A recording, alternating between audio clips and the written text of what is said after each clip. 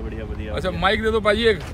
सो सरदार जी को पकड़ लिया मैंने। ले मैं भी अपना हथियार लेवा कट ओ, के बिल्कुल बिल्कुल आप भी लाओ फिर पहले हमारे वाला हमारे वाला आ जा। रवि साडे सा- कितने हैं? सो। फ़िलहाल अभी जैसे पता चला कि हिसार में एचआर सेवेंटी वन वाले पहुँचे हैं और बहुत न्यूज़ देखते हो आप लोग सरदार जी को। देखते हैं ना। सो भाई कैसा लगा है? कैसा लगा ला भाई पहली बार हम पहुँचे थे हिसार और हिसार का फ़ेमस बंदा जो है हिसार का।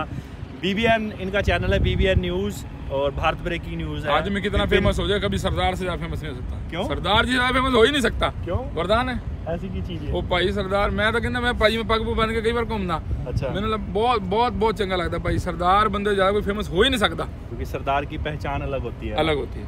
तो फ़िलहाल कैसा लगा ऐसा बढ़िया यार आप तो हमेशा कहते थे कि सार ये बेकार है। देख पीछे देखो। हमारा उद्देश्य है हवाई सुरक्षा। इतना बढ़िया एयरपोर्ट इधर दिखाओ भाई साहब। पूरा एन बढ़िया एयरपोर्ट बन रहा है। अभी रनवे भी दिखाऊँगा थोड़ी देर में जाते हुए थोड़ा सा विजुअल दिखाऊँगा आपको इसके बीच में। सब कुछ बढ़िया बन रहा है और आप कहते हो कि हिसार में कुछ नहीं है पाजी है, है। हवा में तो सब कुछ है यहाँ। हवा में ऑक्सीजन भी है कार्बन डाइऑक्साइड बीजेपी भी भाजपा भी है आप भी है सारे। लेकिन ग्राउंड ग्राउंड पे कुछ नहीं है यहाँ। ये तो आपने बार बार देख लिया। आप चलो ये रोड देख लो। हम्म। पाजी ये रोड है ना ये रोड भी अगर मैं ढंग से पैर मारूं ना पैर से टूट जाए मेरे ये देखो ये देखो। तो अभी तो नया माल है ताज़ा ताज़ा माल है कच्चा कच्चा माल है ना? तो काचा माल कच्चा बादाम है। अब नया नया घर बनता है नए घर पे थोड़ी मारो कुछ मारो इधर टूट जाएगा। किले में ठोकते हो सारा कुछ करते हो। अभी ट्रायल पे होगा ना ये रोड कौन सा रोड है? चलो ये तो छोड़ दिया लेकिन शहर के अंदर जाओगे ना वैसे मेरा शहर से अच्छा कोई शहर नहीं हिसार से अच्छा कोई है ही नहीं। अच्छा। सबसे अच्छा है बेस्ट है। हर किसी शायद हरियाणा में राजधानी बनने के लायक भी है।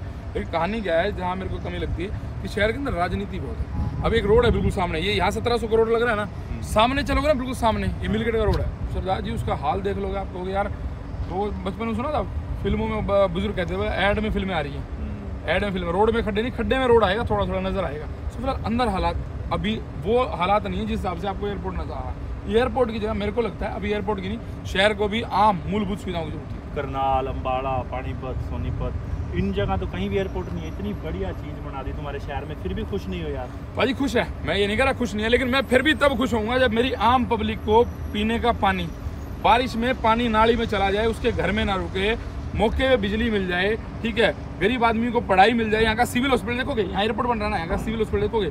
वहाँ पे इलाज के नाम पे ई भी नहीं है। तो एयरपोर्ट बना दिया हॉस्पिटल है नहीं। हॉस्पिटल ना के बराबर। दादा वहाँ पे तो अल्ट्रासाउंड की मशीन नहीं मिलती।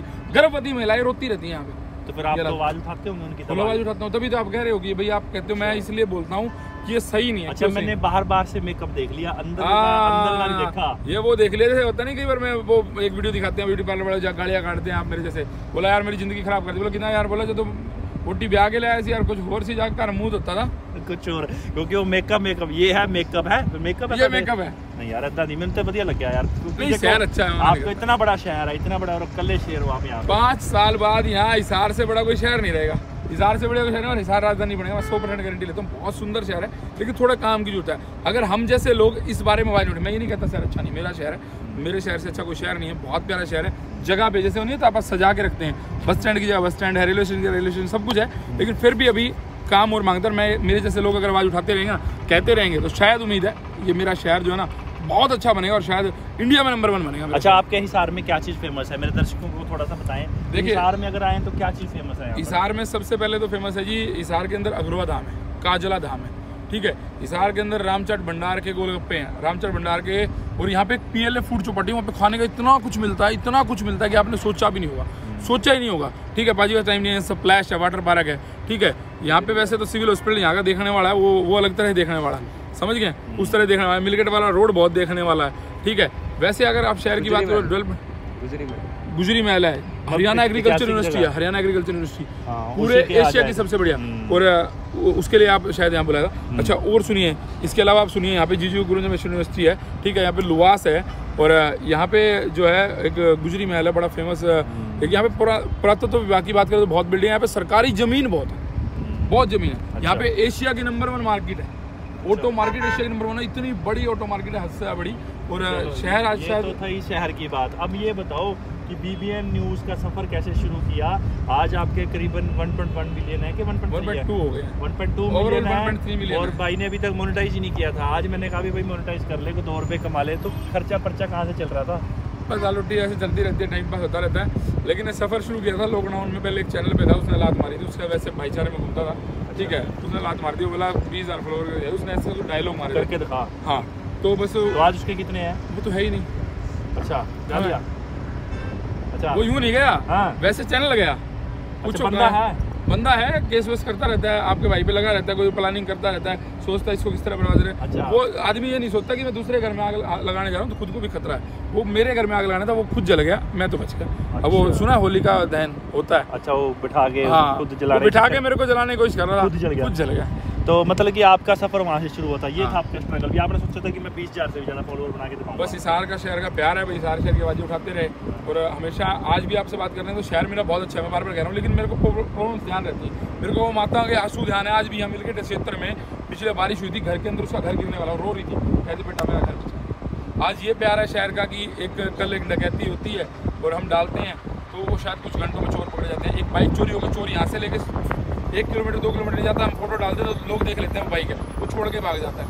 आज आम आदमी को ये चैनल आम आदमी का है बीबीएन परिवार का है। ठीक है आम आदमी पार्टी का नहीं है भाई बीबीएन परिवार का है आदमी परिवार। ठीक है भाई अमीरों का देखिए अमीर गरीब सब मेरे लिए बराबर है मेरे को सबने सपोर्ट करा है। बात यह कि आम आदमी के आज बहुत काम आता है चैनल जो कल तक कुछ भी नहीं था। लेकिन एक बताऊँ सरदार जी का चैनल भाई बहुत फ़ेमस है और पहली बार मैंने इनसे मुलाकात करी वो बड़े खट्टे मीठे कैसे अनुभव थे वो? क्या हुआ? था बस ऐसे ही कुछ था लॉकडाउन के टाइम हम मिले थे। मिले इन द सेंस फ़ोन पे फ़ोन पे मिले थे? अ, कोई नोटिफिकेशन आई थी कि छह बजे तक दुकानें खुलेंगी। हाँ। वो थी एक्चुअल में सात बजे तक। आपने हाँ। छह बजे तक डाल दी। हाँ। तो लोग घबरा गए कह रहे जी मेरे को मेरे फॉलोअर्स का फ़ोन आया कि बीबीएन कोई न्यूज़ है? उसने छह बजे तक की दुकानें डाल रखी है। मैं कहा नहीं नहीं भाई सात बजे तक है पढ़ो गाइडलाइंस तो उस समय ना बहुत ज़्यादा कंट्रोवर्सी चलती रहती थी। पहले क्या हुआ था मैं बताता हूँ। शनिवार एतवार को बंद कर दिया। हाँ। फिर सोमवार मंगलवार बंद कर दिया। वो गाइडलाइन बदलती बहुत तेज़ी से। पहले छह बजे तक आई फिर सात बजे तक आई। बदल देते थे। एक घंटे में बदल देते थे। तो मैंने कहा यार तुम तो मिसगाइड कर रहे हो ये। मैंने एक वीडियो बना दी इनके खिलाफ। इनको इनका फ़ोन आया भाई एच आर इकहत्तर से मैं हाँ करा आप मेरे खिलाफ वीडियो डाल रहे हो मैंने गाइडलाइन मैंने कहा भाई थोड़ी सी कंफ्यूजन थी गाइडलाइन को लेके तो वो हम क्लियर करना चाहते हैं। उसके बाद ऐसा मित्र बना थोड़ी सी हमारी नोकझोंक हुई थी हुई थी ना? हुई थी, बिल्कुल हुई थी। तो उसके बाद ऐसे मित्र बने कि आज भी हम मित्र आज मैं आया था जिसने मेरी गाड़ी रुकवाई मिले। ऐसे बहुत अच्छा लगा भाई। पाजी बहुत अच्छे इंसान है और मैंने हमेशा इनको देखा है, इनसे बहुत कुछ सीखा है। टेक्निकली जितने आदमी सॉलिड है तो शायद मैं उसका एक परसेंट भी नहीं हूँ। बहुत सॉलिड है। और करनाल के बिल्कुल पास है सो फ़िलहाल पूरा करनाल हो गया अम्बाला हो गया, यमुनानगर हो गया, सारा संभाल रहे हैं। सो भाई, मैं सरदार जी का पर्सनली क्योंकि ये मेरे से बहुत पुराने हैं। मैं इन सबसे सीखा हूँ। मैंने बिल्कुल नया शुरू कर मैंने इन सबसे बहुत कुछ सीखा है। इन सबसे एक एक चीज़ सीख सीख के, सीख सीख के मैं आगे बढ़ाऊँ और अभी मैं सभी से कहूँगा, पहले तो भाई अच्छा इकहत्तर है ना, ये सब चीज़ पे है। यूट्यूब पे है फेसबुक पे है। अगर आप इस साइड की यमुनानगर साइड की खबरें लेना चाहते हैं आप तो भाई और वहाँ जा रहे हैं आपको कोई दिक्कत लगती है तो ये नंबर नोट कर लें। अगर नंबर नोट कराना मनीष भाई तो ये नंबर नोट करा दो भी लगे। बीबीएन मतलब भारत ब्रेकिंग न्यूज़ पूरे भारत का चैनल हमारा चलो हरियाणा तक क्या तो पूरा पूरे भारत का चैनल है और सबसे बड़ी बात है कि बड़ा नाम कैसे रखा? एच आर सेवेंटी वन ऐसा था ना जैसे आपका तो इस तरीके का सफ़र था मेरे को शौक था कि मैं थोड़ा सा अपने एरिया को प्रमोट करूँ जैसे आपका हिसार का एच आर ट्वेंटी है ना हाँ। तो उस टाइम मेरी वहाँ के एच आर सेवेंटी वन होता था गाड़ियों का नंबर तो गाड़ी का नंबर भी गाड़ी का नंबर भी मैंने एच आर इकहत्तर सब कुछ ले रखा है। मेरा फ़ोन नंबर भी इकहत्तर है। तो इकहत्तर एच आर इकहत्तर से मुझे प्यार हुआ तो मैंने अपने पेज का नाम रखा बिलासपुर हरियाणा एच आर इकहत्तर वाले। मैं फ़ोटो डाल देता था चौंक चौराहे की तो लोग देखते थे उनको अच्छा लगता था। फिर धीरे धीरे उस पर एंगेजमेंट आनी शुरू हुई लाइक कमेंट शेयर आने। धीरे धीरे मैंने लोगों की समस्याएँ उठानी शुरू कर दी।